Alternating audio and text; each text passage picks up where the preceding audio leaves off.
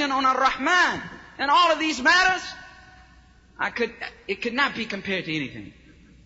And this is how his letters were constantly from a prison, from a hole in, uh, hidden inside of a hole in darkness.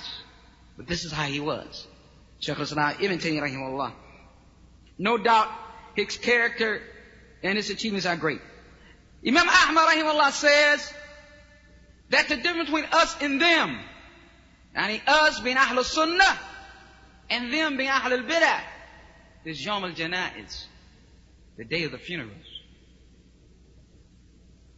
We'll see you the day of the funerals. This will be the difference.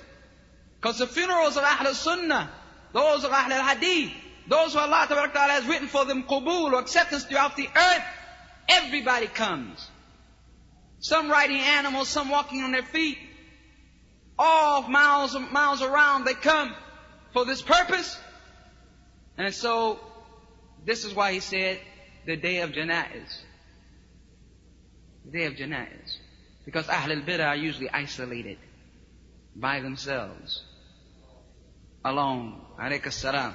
No one's concerned about them. They live despicable and they die despicable. They lived away from the Sharia and they die away from the Sharia. So Ibn Taymiyyah has said that the people of Damascus who held him in great honor gave him a splendid funeral and estimated 200,000 men. 200,000 men and 15,000 women attended his funeral.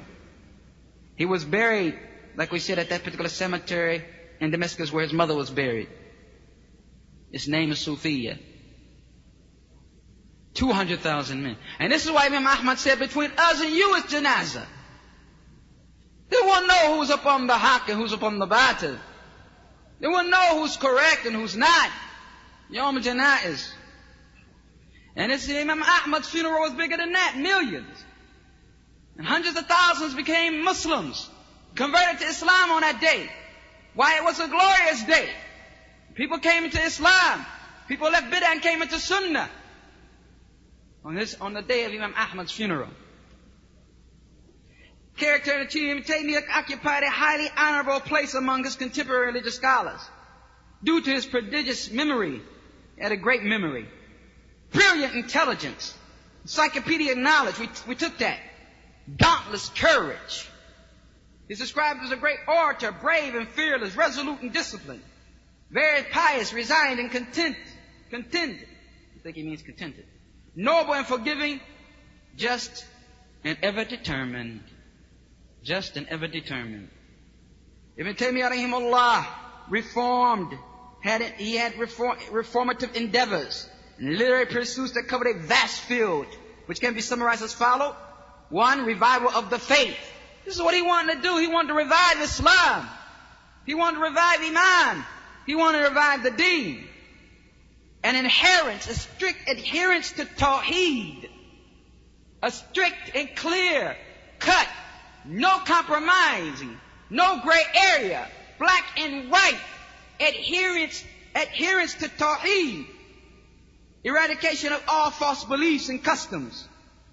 Criticism of the philosophers and all of those who were trying to say something was superior to the Quran and the Sunnah.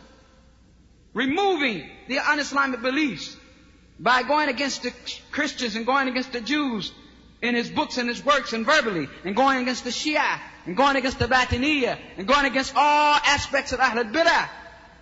Rejuvenation of Islamic thought and related sciences, giving rebirth to tafsir, rebirth to usul tafsir, rebirth to usul fiqh, rebirth to fiqh, rebirth to usul hadith, rebirth to hadith, rebirth to the ilm, ilm nasikh wal mansukh, rebirth to all of those issues rejuvenation of Islamic sciences so they became alive again after the once being considered something that was dead or rusted over or no one gave concern to. Ibn Taymiyyah rahimahullah brought back to life. Brought back to life.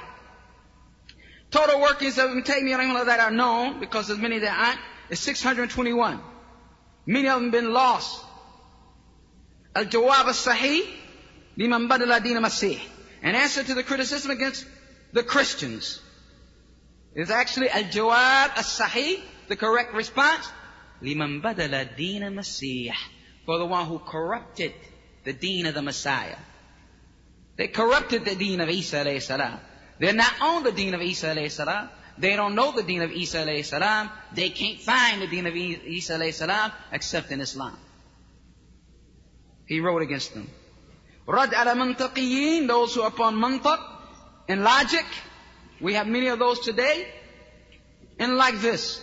This is basically Ibn Taymiyyah rahimahullah, and we have not given him his just due in this matter, but this dars is Aqidah Wasatiyah, not the life of Ibn Taymiyyah, not a series of that.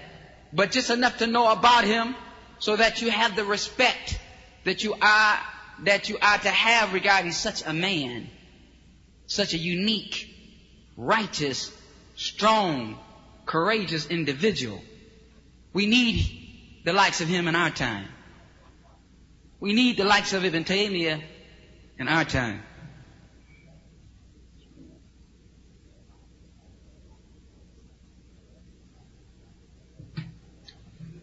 Now, the explainer of this book, before we get go directly to it, Sheikh Muhammad bin Salih al Uthaymeen. And he is Abu Abdullah, Muhammad ibn Salih, ibn Muhammad ibn Uthaymeen at-Tamimi. And at-Tamimi is a tribe, well-known tribe. Amongst them are those who went the way of the Khawarij, the Khawaisira. Amongst them are those the most righteous of people and scholars. To such degree that the Prophet said, Banu Tamim, the tribe of Tamim, they are the hardest people among, uh, uh, towards the Dajjal. They are the hardest people upon the Dajjal. So this is, he is a Tamimi, He was born in the city of Unayza, Qasim, the Qasim region, on the 27th of Ramadan. He was born in the month of Ramadan. 1926, Christian era, 1347 Hijri, in a famous religious family. Didn't we say this before? That things don't just come out the blue. Ibn Taymiyyah was born in a deen oriented, scholarly family, and the likes of Ibn Taymiyyah come out of that. Ibn Uthaymeen was born in a religious, deen-oriented family, and the likes of Ibn Uthaymeen comes out of that. It is a rare thing indeed that someone who has no surrounding that is Islamic and no family that is Islamic, that they will come out to that level of Ibn Taymiyyah. They may come out in a good level. No one's saying they won't. Allah Ta'ala blesses who He wills. But we're saying to that level, when you look at to that level, to that degree, those people usually came out of generations. Generations of Islamic scholarship, huh, pops up Ibn Taymiyyah. Generations of taqwa, here comes Ibn Taymiyyah. Generations of fiqh, generations of hadith, here comes Muhammad al-Wahhab, rahimahullah. Here comes Shafi'ah. Come out of that situation. So if there's anything a brother wants to do is to make sure his family's straight now. His family's straight and generations are straight now and the children are straight now and everybody, everybody's up on Tawheed and Sunnah now and everybody is on the acquisition of Islamic knowledge now. Then a generation and generation or two, then we have something to look at. We say, look what this tree has harvested. Look what this tree has borne. Look what has been given birth to. Based on the fact that we kept the covenant. We were, we kept the, the, the, the pact.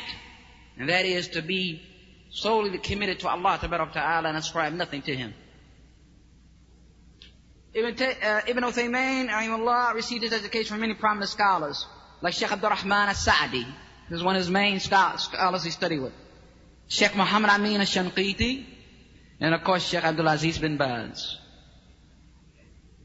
Sheikh Sa'di, Rahman al-Sa'di, Sheikh Shanqiti, the old Shanqiti, not the present.